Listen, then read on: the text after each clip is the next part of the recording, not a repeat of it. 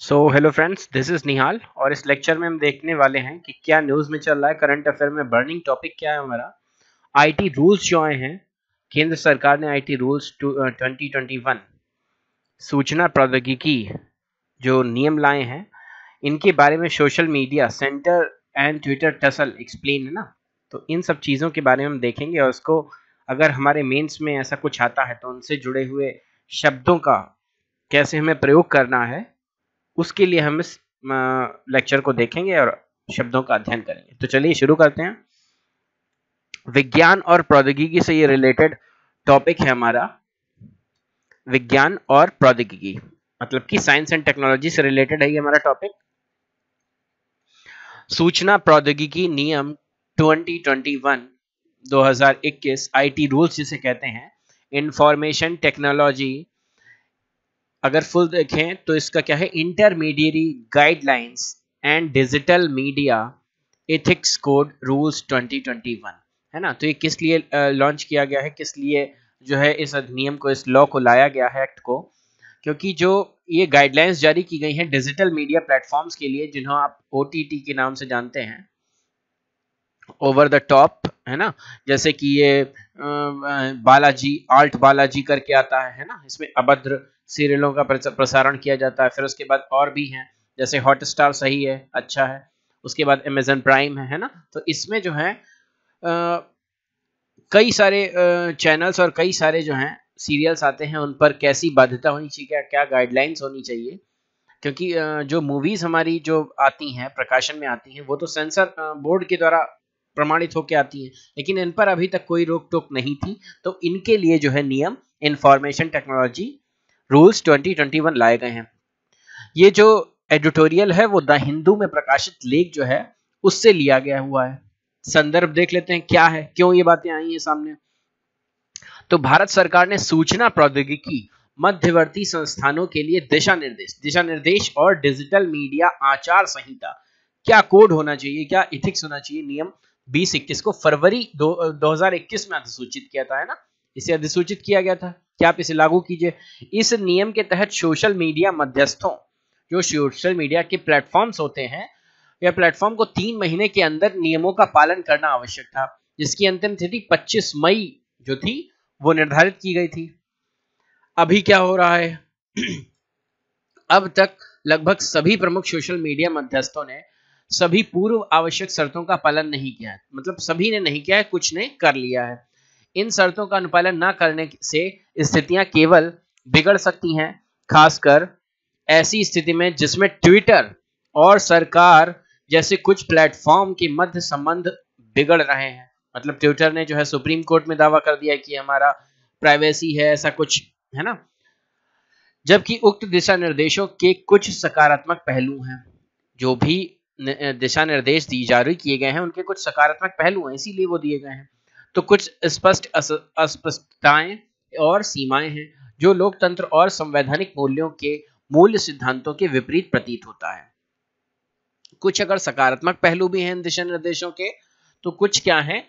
अस्पष्टताएँ हैं और सीमाएँ हैं जो लोकतंत्र के संवैधानिक मूल्यों और मूल सिद्धांतों के विपरीत लगती हैं। सकारात्मक पहलुओं को देख लें कि इन नियमों में सकारात्मक पॉजिटिव पॉइंट्स क्या हैं हमारे लिए? पॉजिटिव पॉइंट्स क्या हैं? तो ये नियम कुछ कर्तव्यों को अनिवार्य बनाते हैं। ये नियम कुछ कर्तव्यों को अनिवार्य बनाते हैं। जैसे पहला क्या है? 24 घंटे के भीतर गैर सहमति वाली अंतरंग तस्वीरों को हटाना। 24 घंटे के भीतर गैर सहमति वाली अंतरंग अगर किसी की सहमति नहीं है इसमें तो वो अश्लील फ़ोटो को वहाँ से हटा दिया जाए। प्लेटफॉर्म से पारदर्शिता बढ़ाने के लिए अनुपालन रिपोर्ट का प्रकाशन किया जाए। अनुपालन जो रिपोर्ट है उसका प्रकाशन करें कि हमने सब रिपोर्ट में मतलब कि गाइडलाइंस का सर्टिफिकेट दिखाया जाए। सामग्री हटाने के लिए विवाद समाधान तंत्र स्थापित करना।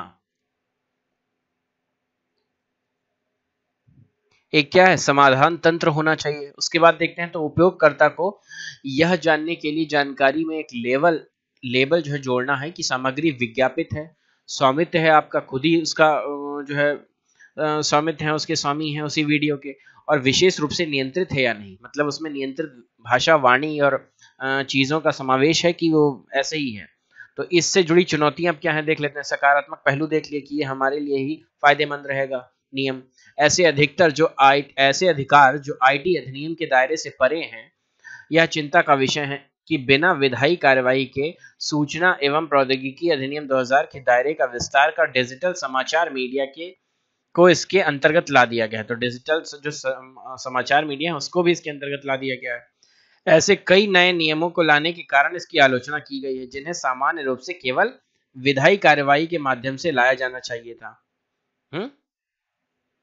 मतलब विधान बनाया जाना चाहिए, लेकिन उन्होंने अध्यादेश ही जारी कर दिया। उचित रूप से मध्यस्थता या विवाद निवारण तंत्र का ना होना। मध्यस्थता और निवारण तंत्र नहीं है अभी यहाँ पर। किसी सोशल मीडिया प्लेटफॉर्म को अब सरकार से आदेश प्राप्त होने के 36 घंटों के भीतर सामग्री को हटाना होगा। अगर आदेश मिल जाता है कि ऐसी सामग्री हटानी है तो आपको उसको 36 घंटे के अंदर हटाना है। तो ये बात ध्यान रखिए, इस रूल में है। एक समय सीमा के अंदर सरकार के आदेश से असहमत होने की स्थिति में सोशल मीडिया प्लेटफॉर्म्स को उचित रूप से मध्यस्थता का कोई प्रावधान नहीं है। अभिव्यक्ति की स्वतंत्रता से जुड़े मुद्दे, इन नियमों के तहत ऑनलाइन आपत्तिजनक सामग्री का अंतिम निर्णायक सरकार है। मतलब कि जो भी है, अगर आपत्तिजनक कंटेंट है तो अंतिम कौन है निर्णायक? सरकार है। अतः इससे अभिव्यक्ति की स्वतंत्रता पर, की स्वतंत्रता प्रभावित होगी।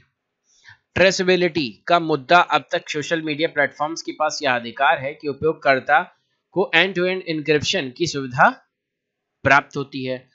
जिससे बिचौलिया के पास उनकी जानकारी नहीं पहुँचती है, जो मीडिएटरी होते हैं, उनके पास जानकारी नहीं पहुँचती। जैसे व्हाट्सएप है, आप मैसेज करते हैं तो एंड टू एंड इंक्रिप्शन होता है। लेकिन ट्रेसेबिलिटी अगर रहेगी तो आपके हर मैसेज को डिकोड करके व्हाट्सएप के सर्वर पे डेटाबेस में रखा जाएगा। तो ये जो है प्राइवेसी का हनन कहा जा रहा है। ट्रेसेबिलिटी की इस अनिवार्य आवश्यकता को लागू करने से सोशल मीडिया प्लेटफॉर्म्स को यह अधिकार समाप्त हो जाएगा जिससे इन वार्तालापों की गोपनीयता की सुरक्षा खत्म हो जाएगी मतलब प्राइवेसी खत्म हो जाएगी। डेटा गोपनीयता कानून की अनुपस्थिति, यहाँ पे डेटा का गोपनीयता जो कानून है, उसकी अनुपस्थिति है। डेटा गोपनीयता कानून का ना होना उस देश में घातक साबित हो सकता है, जहाँ नागरिकों के पास अभी भी किसी भी पार्टी द्वारा गोपनीयता भंग करने के पश्चात खुद को बचाने के लिए डेटा गोपनीयता कानून नहीं है। अनुपालन बोझ क्या है? अगर इसको इसका हम एक्ट इनके नियमों को मान लेते हैं तो उसके बोझ क्या बढ़ जाएँगे? टेक कंपनियों पर।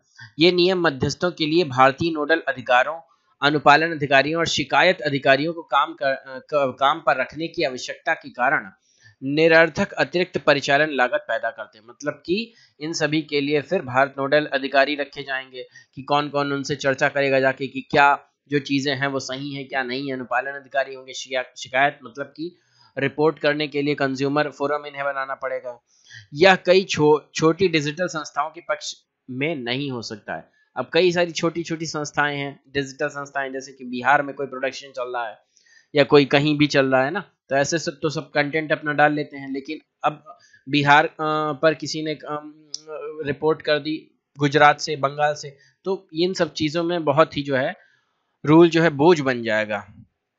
और सभी प्रकार के हस्तक्षेप की संभावना बढ़ सकती है ना। सभी लोग एक दूसरे में हस्तक्षेप करने लगे ये कंटेंट नहीं सही है वो कंटेंट नहीं सही है। इस तरीके का हो जाएगा। आगे की राह क्या हो सकती है? कानून का, का समान अनुप्रयोग कानून के अनुप्रयोग सभी के लिए एक समान होगा। कोई भी प्लेटफॉर्म इसका अपवाद नहीं होगा। कोई भी प्लेटफॉर्म है इसका अपवाद नहीं होगा। इसके अलावा गैर कानूनी सामग्री से निपटने के लिए कानून पहले से ही मौजूद है। अगर कोई गैर कानूनी सामग्री है तो उससे निपटने के लिए कानून पहले से ही आईटी रूल्स में आवश्यकता है उनके एक समान अनुप्रयोग की। जो रूल हैं, पहले से ही उनको पहले लागू किया जाए सही से। हितधारकों के साथ विचार विमर्श, जो भी हितधारक हैं, जो भी स्टेक होल्डर्स हैं फेसबुक है व्हाट्सएप है ट्विटर है, और भी कई सारे ब्लॉगिंग साइट्स हैं तो इनके साथ विचार विमर्श किए जाएँ, तथा नए नियमों के साथ कई समस्याएँ हैं, उनको सुधारा जाए।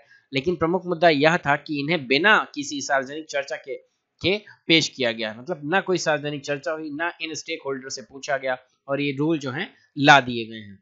इसके समाधान का बेहतर तरीका है कि इससे जुड़ा एक शर्त पत्र पुनः जारी किया जाना चाहिए। मतलब एक व्हाइट पेपर जो है रिसर्च पेपर ऐसे करके जारी किया जाना चाहिए कि आपको ऐसे ऐसे करना है, क्यों करना है, किस लिए करना है, ये सब जारी करना चाहिए। वैधानिक समर्थन क्या है इसमें? उसके बाद भी यदि इसका विनियमन आवश्यक समझा जाता है तो इसे कानून के माध्यम से लागू किए जाना चाहिए। अगर फिर भी इसका जो है विनियमन मतलब इसको नियम से लागू करना है अगर तो इसको कानून के माध्यम से लागू कीजिए मतलब कि संसद पार्लियामेंट के थ्रू इसका डिस्कस कीजिए, उसको रूल को फिर लागू कीजिए, चर्चा करने के बाद लागू कीजिए। इसके लिए कार्यकारी शक्तियों पर भरोसा करने के बजाय संसद में मतलब बहस होनी चाहिए के ज़रिए लाना चा, जा, जाना चाहिए। डेटा संरक्षण कानून में मजबूती लाना। किसी भी प्लेटफॉर्म के साथ अधिक जानकारी साझा करना उस देश में खतरनाक साबित हो सकता है जहाँ नागरिकों के पास अभी भी किसी भी पार्टी द्वारा गोपनीयता भंग करने पर खुद को बचाने के लिए डेटा गोपनीयता कानून नहीं है। बात समझ रहे हैं? तो अभी भी हमारे पास जो है हमारी गोपनीयता का को कोई कानून नहीं है। हमारी प्राइवेसी का कोई रूल नहीं है।